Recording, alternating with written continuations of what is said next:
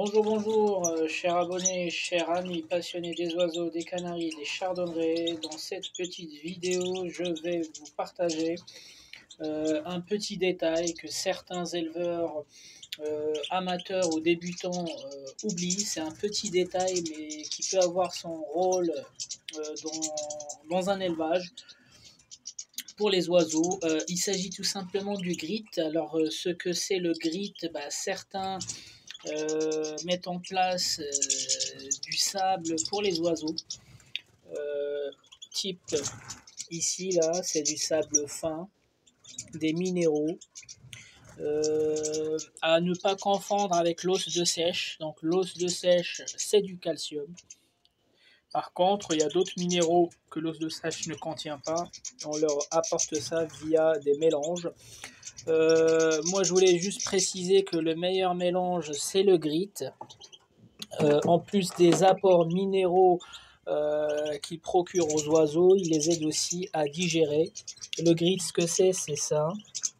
Vous en avez certainement vu dans les animaleries ou sur internet. Je sais pas, je vais vous le mettre à la lumière. Voilà, c'est des petits cailloux comme ça, c'est un mélange.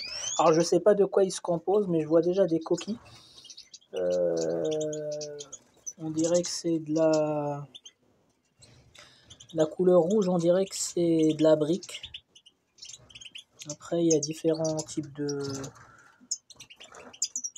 différents types de cailloux et de couleurs. Euh, en gros, ça c'est très important, c'est très apprécié par les oiseaux. Euh, je vais peut-être me renseigner sur la composition du grit sur internet et vous en parler euh, lors d'une prochaine vidéo. Mais en tout cas, on le néglige souvent, le grit, que ce soit pour les canailles ou pour, les chardonnerets. Ça les aide à digérer. Les, les oiseaux n'ont pas de dents comme nous, les humains. Nous, on mâche avant de digérer. Et eux, ils n'ont pas de quoi mâcher. Donc, ils comptent sur ces, des, petits cailloux pour pouvoir digérer dans les organes. un simple exemple, vous allez voir à quel point ils apprécient. Donc, je vais leur mettre un peu là, un peu là et vous allez voir comment ils vont se précipiter. Voilà. vous allez voir comment ils vont se précipiter directement dessus. Et des fois c'est la guéguerre. Donc moi je leur donne une fois par semaine. J'essaie de pas leur en trop, trop, trop leur en donner. Voilà, mais dès que je leur donne, ils sont tous autour du, euh, du godet. Donc ça, c'est très très important pour leur digestion. Ça leur facilite la digestion des aliments euh, qu'ils prennent. Et je n'ai aucun, j'en ai eu aucun souci. Ça fait 9 ans que je leur donne. Euh, ça fait 9 ans, euh, j'ai, eu aucun souci par rapport au grit.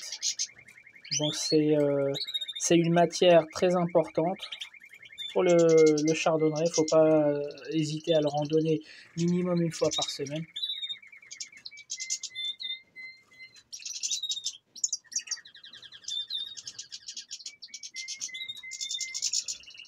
Donc c'est pareil, je vais donner au mâle.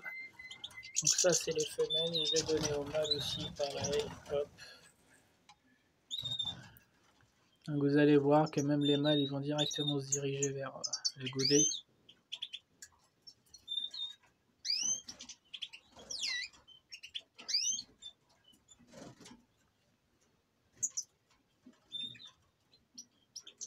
Voilà.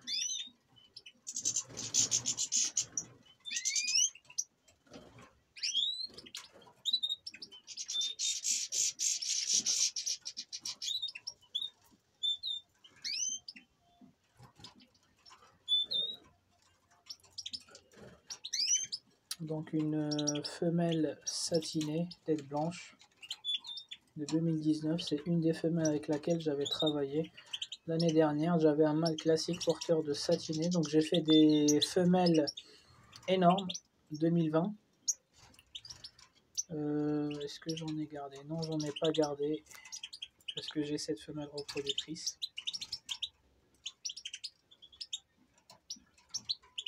Donc à côté, c'est une Isabelle tête blanche. Donc Isabelle satinée aux yeux rouges. Pareil, la satinée, elle a les yeux rouges. L'Isabelle, a les yeux rouges.